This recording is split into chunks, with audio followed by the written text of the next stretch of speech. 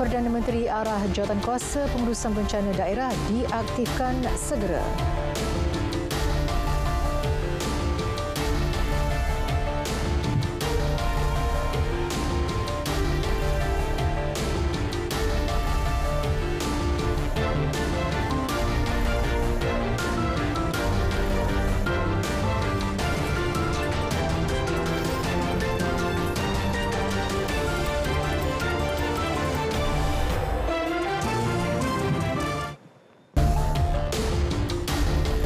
Assalamualaikum dan salam keluarga Malaysia. Bersama saya Nur Alis untuk laporan berita tengah malam malam ini. Saudara, Dasar Bioteknologi Negara DBN 2.0 tumpu tiga tunjang utama menjelang 2030. Ia termasuk bioteknologi pertanian dan jaminan makanan, penjagaan kesihatan dan kesejahteraan serta bioteknologi perindustrian dan ekonomi kitaran. Tegas Perdana Menteri Datuk Seri Ismail Sabri Yaakob, DBN 2.0 bakal memacu momentum transformasi negara daripada negara pengguna teknologi kepada negara pembangun teknologi.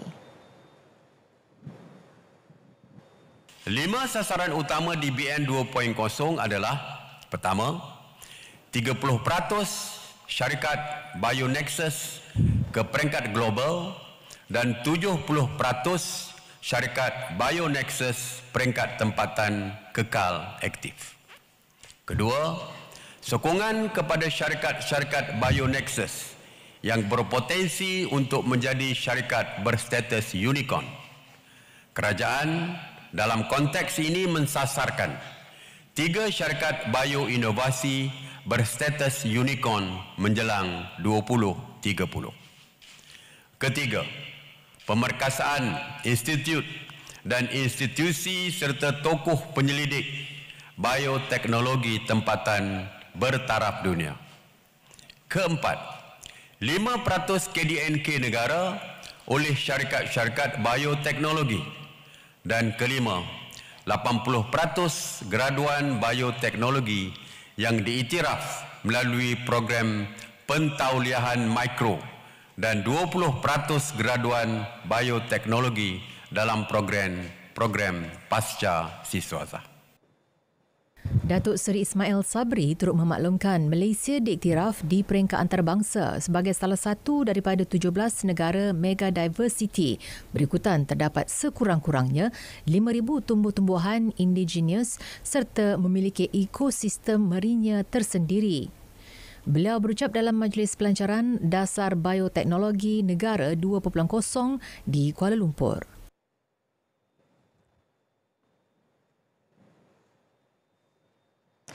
Ini pula berkaitan cadangan moratorium khas untuk sektor perusahaan mikro, kecil dan sederhana PMKS. Datuk Seri Ismail Sabri berkata perkara tersebut akan dibincangkan bersama kementerian berkaitan.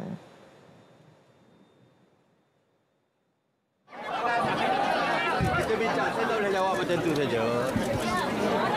Ya, ya kita akan bincang lah. Ya, kita akan bincang dengan Menteri SME, uh, Puskop, Menteri Koperasi, Menteri Pembangunan Usahawan. Kita akan bincang dengan Kementerian Kewangan. Jadi kita akan bincang dulu. Kita, kita bincang. You, thank you. Terdahulu, Pengerusi Majlis Pemulihan Negara Tan Sri Muhyiddin Yassin mencadangkan kerajaan untuk mempertimbangkan pelaksanaan moratorium khas untuk sektor PMKS. Sektor itu masih belum pulih sepenuhnya dan ditambah dengan peningkatan kadar dasar semalaman OPR memaksa pengusaha menanggung beban hutang yang lebih tinggi dan mengambil masa yang lebih lama untuk pulih.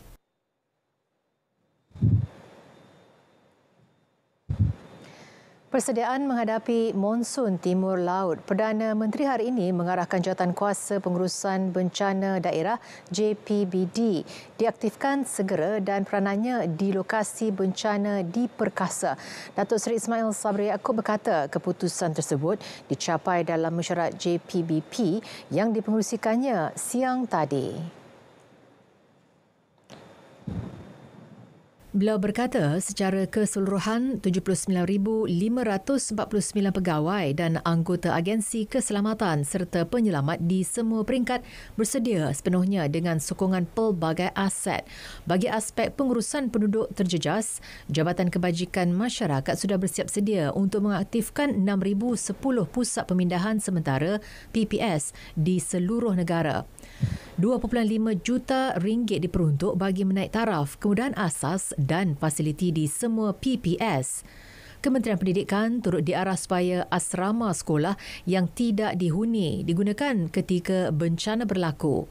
Mesyuarat juga bersetuju supaya bunyi amaran awal berbeza dengan bunyi siren yang lain seperti ambulans dan kereta peronda polis bagi mengelakkan kekeliruan. Pengumuman berpindah akan dibuat pihak berkuasa melalui sistem pembesar suara.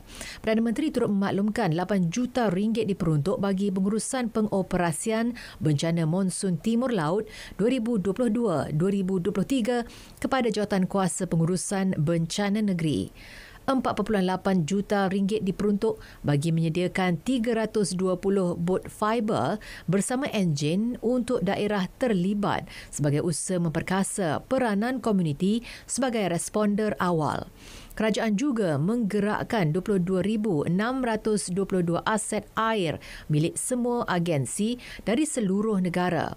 Semua aset perlu dikoordinasi sebaik mungkin supaya kerja menyelamat dilaksana dengan berkesan.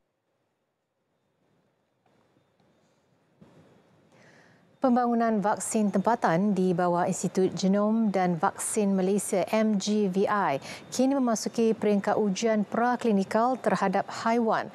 Menteri Sains, Teknologi dan Inovasi Datuk Seri Dr. Adam Baba berkata, kementerian akan memastikan pengeluaran vaksin itu akan memastikan syarat pembuatan dalam negara dipatuhi mengikut kehendak amalan penghilangan baik GMP kita mengambil maklum bahawa dua kaedah dapat digunakan. Satu melalui teknologi transfer daripada uh, teknologi luar negara. Yang kedua bangunkan platform kita sendirilah.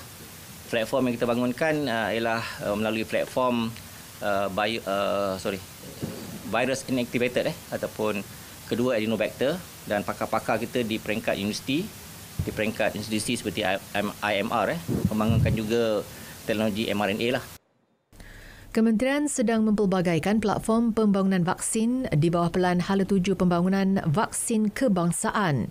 Beliau berkata kepada media selepas majlis pelancaran Dasar Bioteknologi Negara 2.0 di Kuala Lumpur.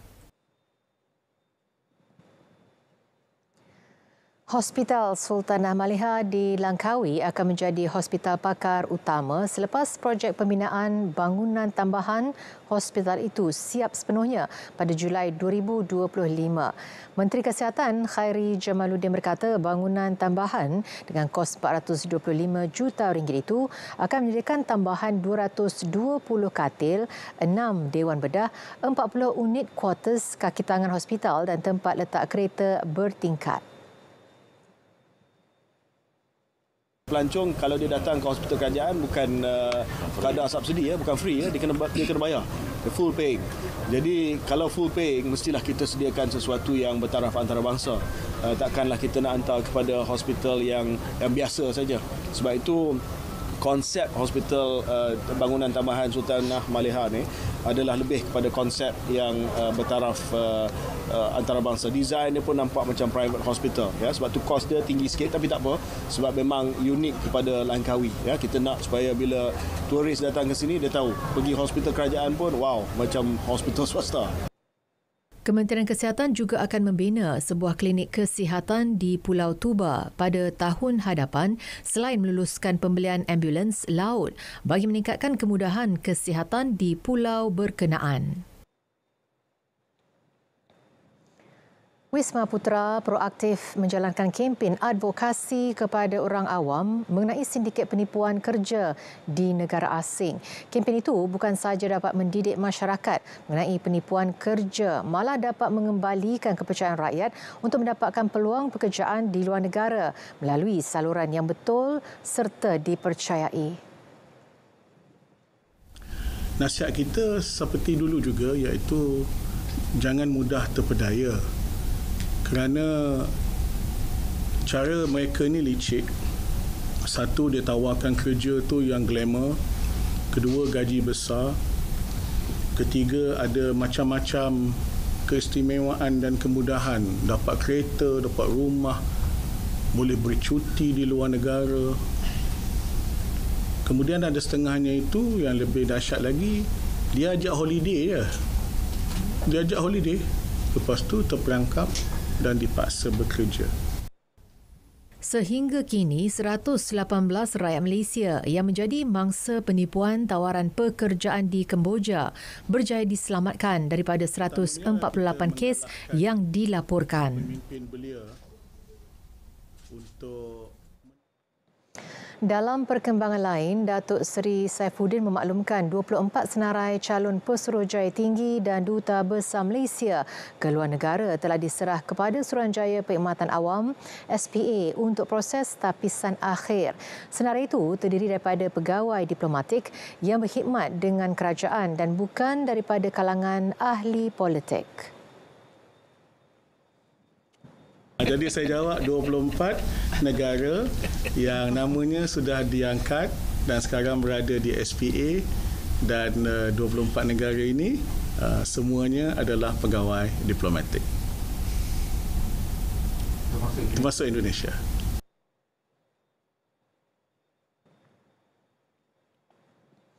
Bagi menambah baik mutu perkhidmatan produk pelancongan negara, program Malaysia Tourism Quality Assurance MyTQA versi baharu dilancar.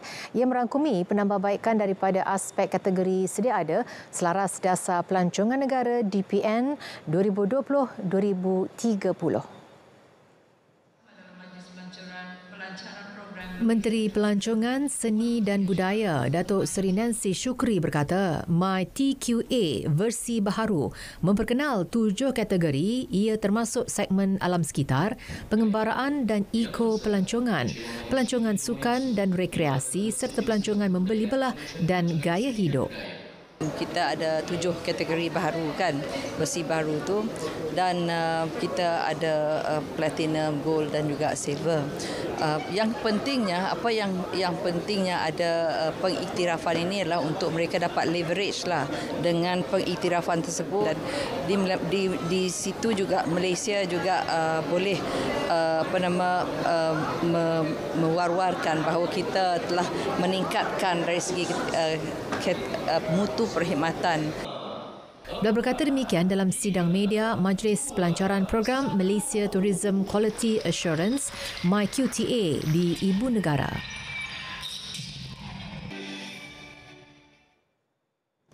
Fenomena air pasang besar yang bermula semalam di beberapa lokasi di Selangor masih terkawal. Perinciannya kita ikuti laporan wartawan Audi Muhammad Nur yang mengikuti operasi pemantau udara bersama Jabatan Bomba dan Penyelamat JBPM Selangor.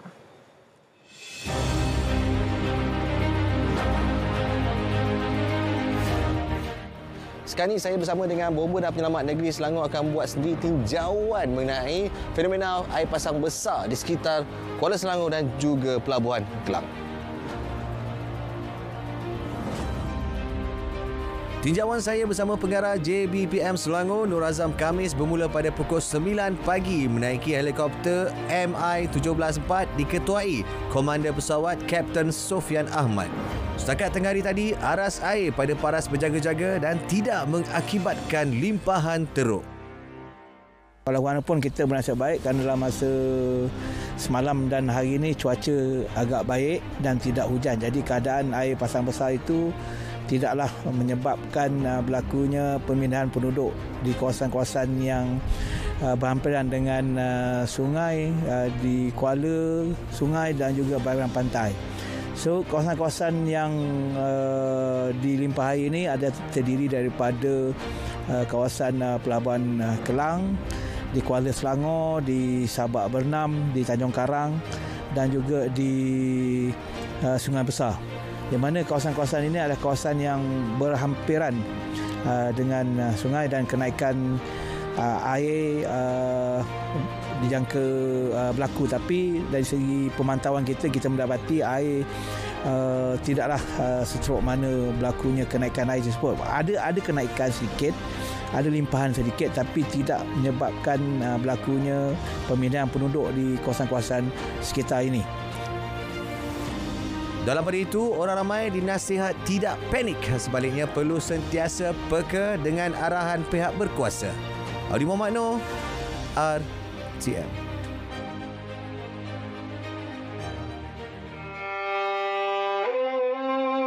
Inilah warisan daripada nenek moyang kita. Tanah bertuah dengan hasil bumi serta limpahan rahmat untuk kita nikmati. Kenikmatan yang terwujud dari hati, toleransi, keprihatinan dan kasih sayang kita sesama warga. Ini warisan yang kita akan jaga dan pelihara sebagai keluarga Malaysia. Raikannya.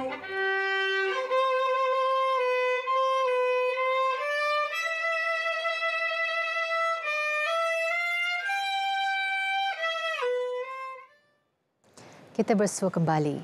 Saudara, beberapa langkah mengatasi inflasi dan kenaikan kos sara hidup dibincangkan pasukan khas Jihad Tangani Inflasi menerusi mesyuarat ke-16. Menurut pengerusinya, Tan Sri Anwar Musa, syur jangka pendek, sederhana dan panjang dikemukakan dalam mesyuarat tersebut.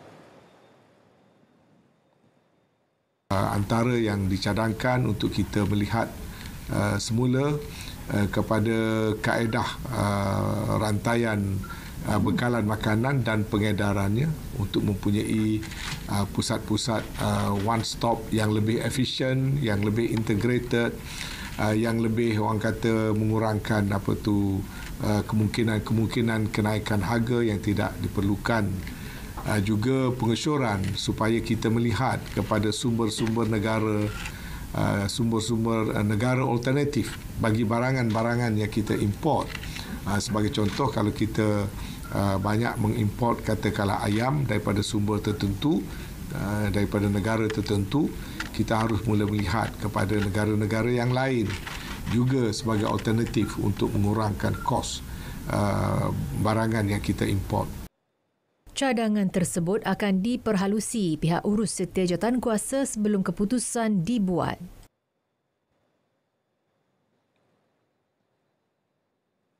Negara memerlukan sekurang-kurangnya 2,000 beg darah sehari bagi memastikan tabung darah mencukupi bagi kegunaan pesakit. Timbalan Menteri Kesihatan 1, Datuk Dr. Nur Azmi Ghazali berkata stok bekalan darah di Pusat Darah Negara PDN perlu ditambah agar lebih ramai nyawa dapat diselamatkan. Di program demam darah ini adalah satu program yang sangat penting sebenarnya kerana kita di apa tu bank darah negara ni memang sentiasa kekurangan. Sebab sebab ramai orang yang uh, kemalangan umpamanya pembedahan dan banyak sakit-sakit kanser dan sebagainya memerlukan darah Beliau berkata demikian pada sidang media selepas merasmikan majlis perasmian kempen derma darah seluruh negara dan kesedaran kesihatan dan kempen kesedaran kesihatan Persatuan Insurans Hayat Malaysia LIAM atau LIAM 2022 di Medan Mara, Kuala Lumpur. Kementerian Kesihatan KKM akan merumuskan data tinjauan kesihatan orang asli OAHS yang akan diterima secara menyeluruh tidak lama lagi. Data itu penting bagi membuat perancangan dan polisi lebih berkesan bagi meningkatkan tahap kesihatan masyarakat orang asli dan rakyat secara holistik. Dengan Menurut Timbalan Ketua Pengarah Kesihatan, Penyelidikan dan Sokongan Teknikal Datuk Dr. Muhammad Razi Abu Hassan, ia selaras dengan show Kertas Putih Kesihatan yang mencorakkan sistem kesihatan negara pada masa hadapan. OAHS yang dilaksanakan dalam tempoh tiga bulan bermula 13 Julai lalu melibatkan 71 perkampungan orang asli bukan setakat kepada tahap kesihatan itu sendiri iaitu macam dengan NCD ke apakah kita juga nak melihat dari segi uh, contohnya macam mana uh, di kalangan orang-orang asli macam mana mereka uh, melihat kesihatan mereka uh, dan juga macam mana akses mereka kepada tempat-tempat kesihatan dan juga kita juga bukan melihat dari segi penyakit-penyakit fizikal saja tapi juga kita melihat dari segi sosial dan juga dari segi uh, mental issue to, uh, to the certain extent so, kalau sekiranya ada di kalangan mereka.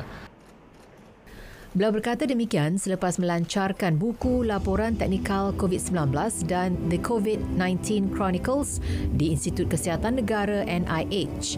Buku mengandungi maklumat dan panduan umum mengenai usaha KKM menangani pandemik dalam tempoh dua tahun sejak 2020. 2020-2021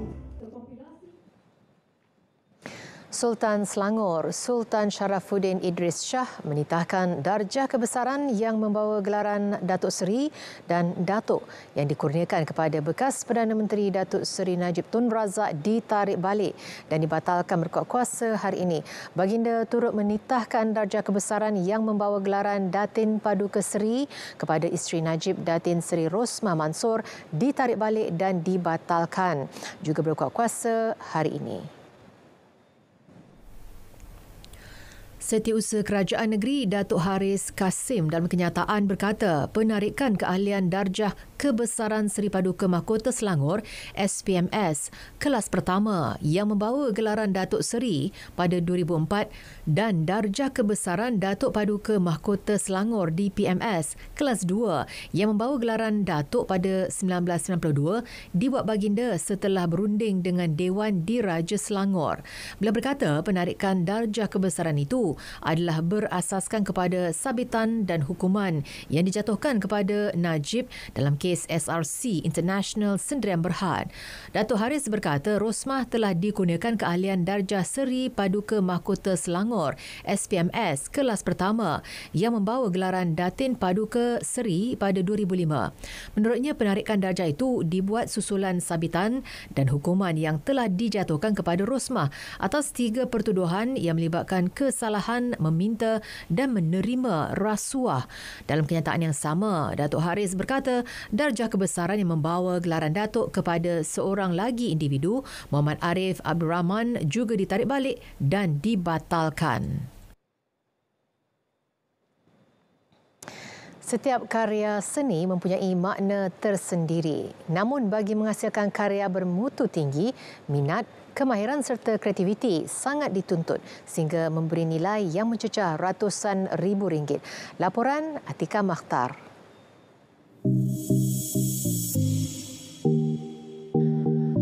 Raikan seni, seni bukan untuk orang kayangan, malah untuk semua. Bersempena sambutan Hari Malaysia 2022, Dewan Bandaraya Kuala Lumpur DBKL dengan kerjasama Persatuan Seni Persembahan Nutri, Budaya dan Warisan menganjurkan pameran lakar seni Malaysia River of Life Kuala Lumpur bagi memberi peluang orang ramai menghayati hasil seni lukisan uh, painting itu semahal 20,000 ada satu painting yang kita bawa ke daripada galeri bawa ke uh, jalanan Ha, jadi bila kita bawa tu maknanya ada artis-artis hebat watercolor, ada artis hebat um, uh, kita kata cat cat cat minyak kan.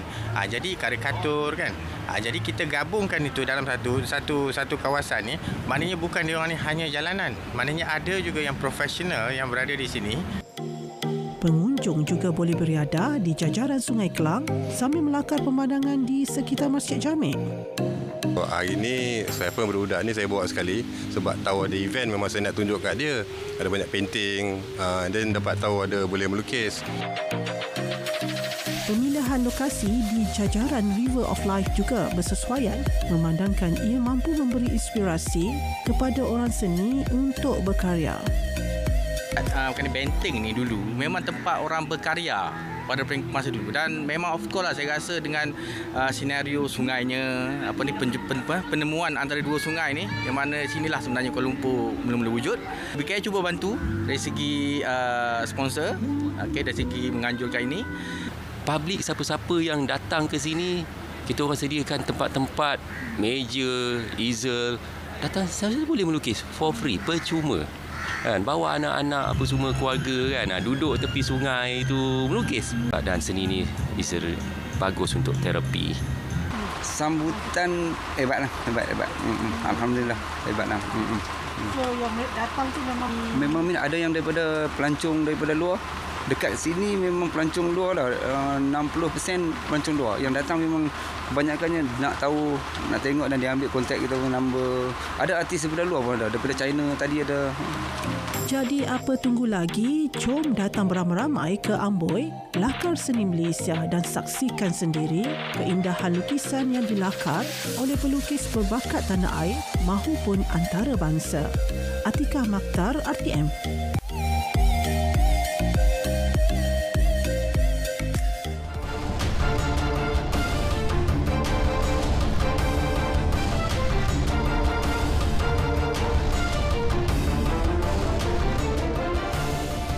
Berita tengah malam kita teruskan dengan segmen sukan. Bola sepak Sukan Malaysia Sukma 2022. Selangor memulakan saingan kempen kumpulan A penuh bergaya selepas memalukan juara bertahan Perak dengan kemenangan 2-0. Gol dijaringkan Muhammad Khairil Muhammad Zain dan pengiran Muhammad Ilham. Aksi berlangsung di Stadium Bola Sepak Universiti Malaya. Selangor lebih banyak menguasai permainan dan melancarkan percubaan berbahaya ke kubu Perak. Gol pertama berjaya dihasilkan Muhammad Khairil Muhammad Zain pada minit ke-21. Skuad kendalian Muhammad Firdaus Aziz terus cemerlang mencetak gol kedua menerusi pengiran Muhammad Ilham Jumaat pada minit ke-79. Yeah, the first game, first win uh, against the defending champion. We're not gonna forget that that they, the last uh, edition for Sukma, they are the champion.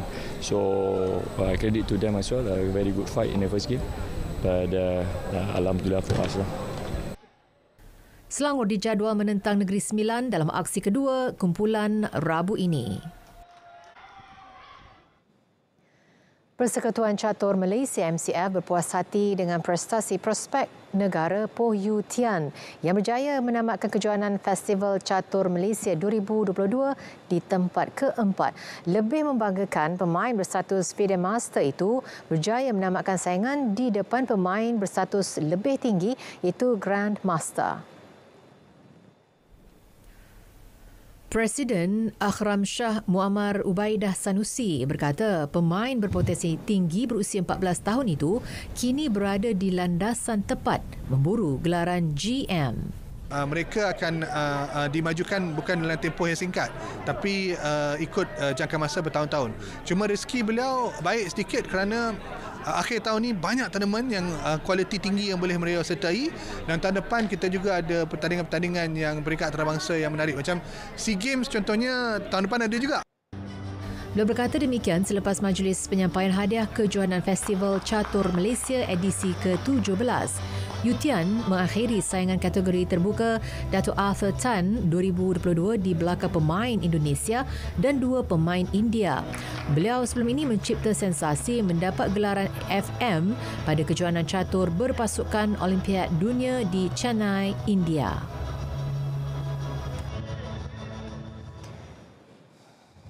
Saudara berita tengah malam berakhir di sini. Dapatkan perkembangan sahih sepanjang masa melalui portal berita RTM di berita.rtm.gov.my. Terus kibarkan jalur gemilang. Saya Nurul Alis mengucapkan salam keluarga Malaysia dan selamat malam.